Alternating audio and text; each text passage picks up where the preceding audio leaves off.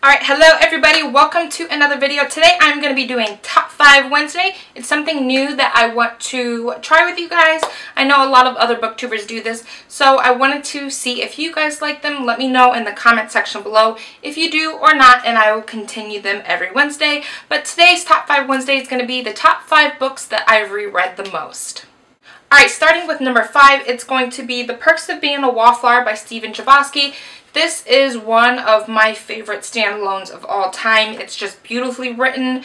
It's really short to read. I just love it so much and I think I've read it either two or three times. The next book is going to be all the books in the Divergent trilogy. I've read these quite a few times. I think going on three or four times. I just absolutely love them and it's just one of my favorite series. Book number three is going to be the Hunger Games trilogy. Another series that is one of my favorites. I love this series so much I could read it over and over again.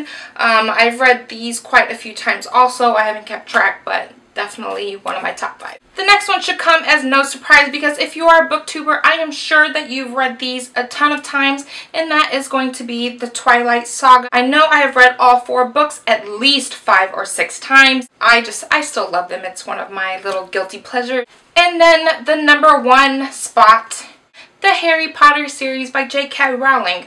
I literally make sure I read these at least once a year. It's just a tradition of mine. And I've been reading these for at least probably 10 years, maybe more.